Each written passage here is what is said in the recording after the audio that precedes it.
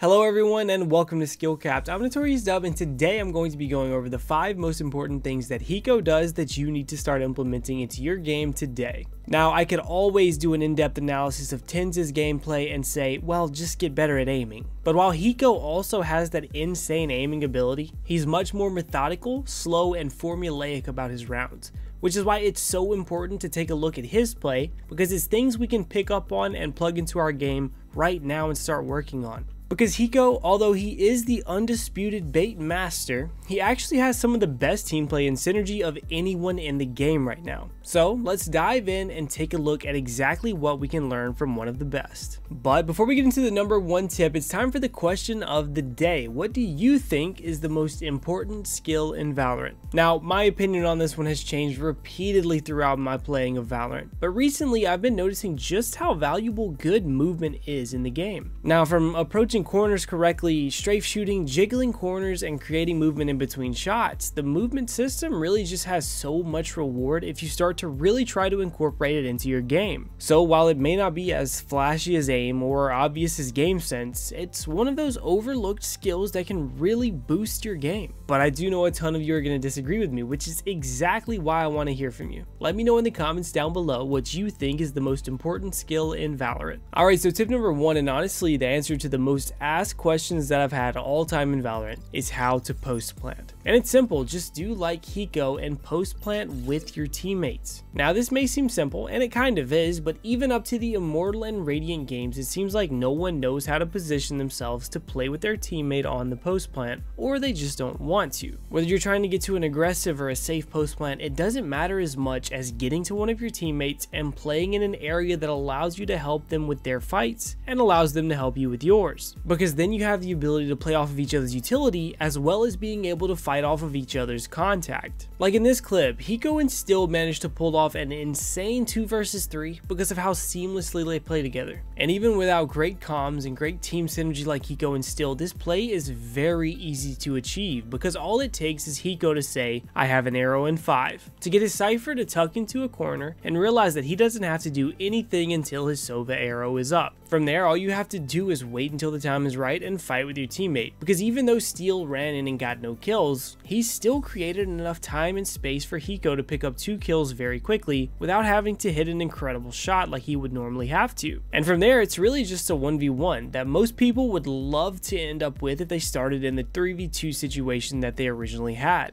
Camera arrow in eight, Cypher, or this one. Arrow in seven, five, three. I don't see it right, actually. He's not flanking. Airing now. Okay, go, Era. Last player standing. Trolling, dude. One enemy remaining.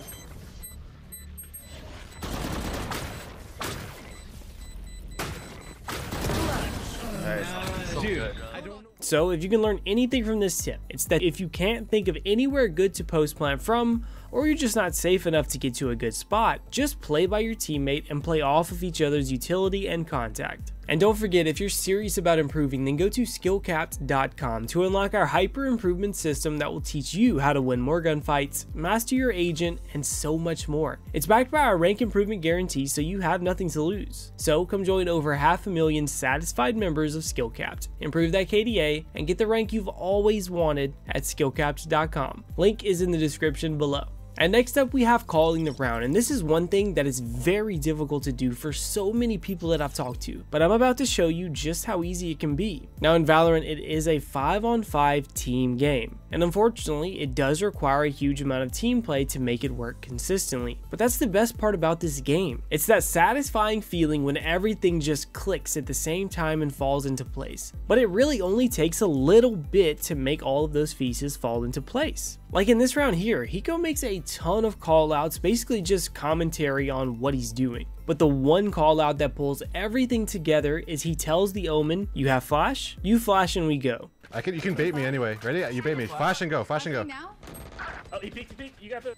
And that one call out took his team from individually jiggling every angle just randomly to full on running into the site one after the other ready to trade out anyone in sight. But that is the most important thing. Whether the flash hits anyone is honestly kind of irrelevant. The thing that matters is that someone stepped up to tell them how they need to coordinate. And it makes the entire game so much smoother when you have that one person who can call out a catalyst, something that you're going to react off of, and then your team just reacts off of it how they're told to. But it gets even better. Even if you don't think you have the game sense to pull out these coordinating calls, you can also do the commentary route that I talked about earlier that Hiko does in most of the rounds that he plays. Like in this round right here, the teams rotate back and forth until eventually the attackers end up at B site, where Hiko has beautiful comms that are literally just him telling his teammates what he's watching and what the enemies could be doing based on the information that he has. And we can see the direct impact of this style of callouts at the end of the round, where Hiko says, I'm holding your right forever. I'm 10 HP.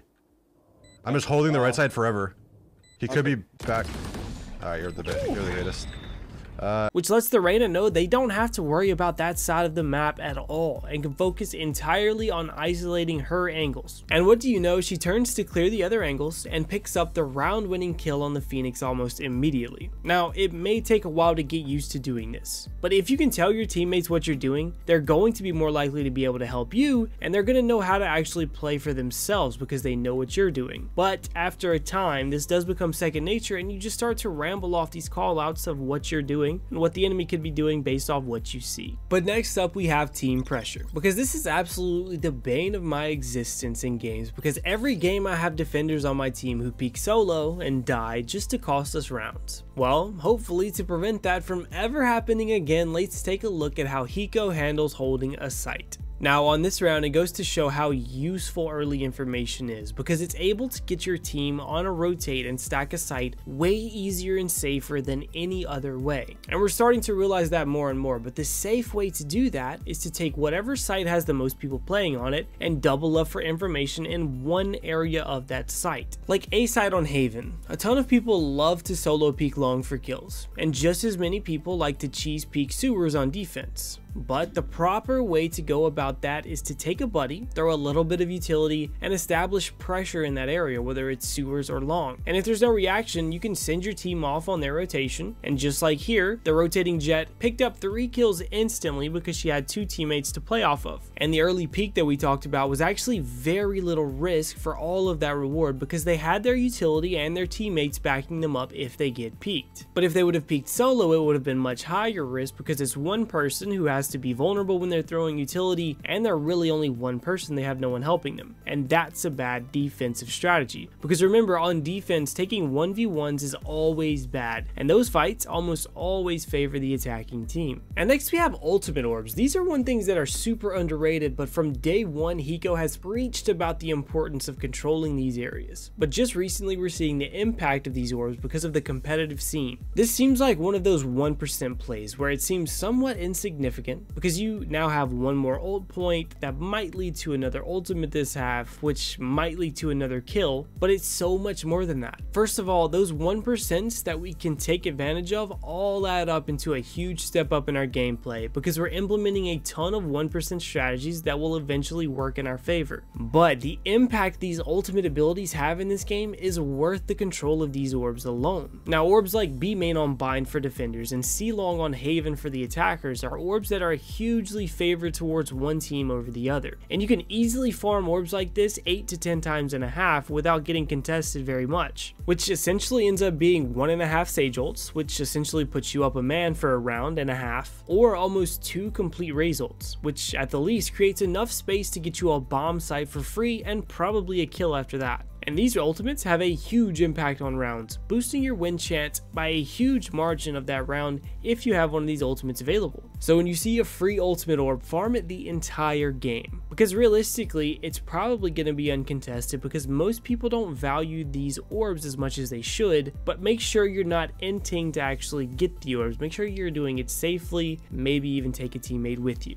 And finally, I have to talk about taking your time because this is one thing that really separates Hiko from the crowd. Now, Hiko has been playing first person shooters for a very long time, and he's developed this insane ability to be patient with the rounds and let them develop to him instead of having to force things to work. Now, too many people people get a kill and decide to rush instantly to the area that person was playing to flash in maybe and try and take way too much space, only to then be killed or overextend to where they can't actually support their team anymore and their team can't support them. And the round is all but lost because you're now separated. Like here we see Hiko and his team doing a very loose default and Hiko is playing very slow for mid control, but he manages to pick up a kill on the guy who's playing Garage about 10 seconds into the round. Where here most people would push for space, Hiko realizes that the flank is open, and there are too many variables and he just can't push in aggressively here. He takes the time to let his team circulate around while he falls back, clears his flank, and resecures his position. And then he waits for his team while he's clearing every little nook and cranny that he can. This took about 40 seconds from the first kill to his team now deciding where they want to go. But all of this time spent clearing and re-clearing pays off so often because you're not overextending. You're just taking what you can get, securing it, and forcing the enemies to play with the unknown not knowing where you could possibly be going. But remember, if you want to improve, win more gunfights, and get the rank you have always wanted, then check out skillcapped.com. Link is in the description below. But all of these things are what make Hiko Hiko. And aside from the inhuman reaction time, the 20 plus years of FPS experience, and the uncanny ability to bait, there is a ton of things we can pick up from Hiko to start working on today. So let me know in the comments what you think separates Hiko from the rest. And while you're down there, make sure to hit that subscribe button and turn those notification bells on because we here at SkillCapped have a ton more comprehensive premium guides coming your way